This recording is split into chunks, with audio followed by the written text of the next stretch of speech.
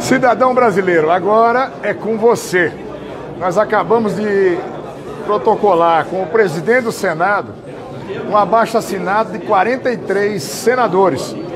Nós somos 81, logo nós temos a maioria absoluta, pedindo ao presidente para pautar o PLS 166, que retoma a prisão após condenação em segunda instância. O momento é agora. Se deixar acomodar, vão empurrar com a barriga, como já aconteceu no final do ano.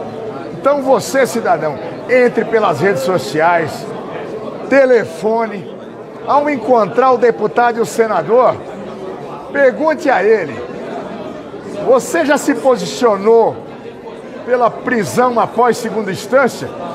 Se não, senador, se não, senhor deputado federal, nós nunca mais vamos apoiá-lo, nem votar, nem apoiar os seus.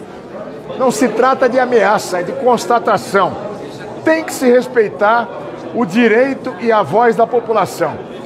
Agora é com você. Vamos nos mobilizar. Se não adiantar no contato direto pelas ruas, por telefone, pelas redes, nós vamos para as ruas. A voz do povo terá que ser a voz do Congresso Nacional.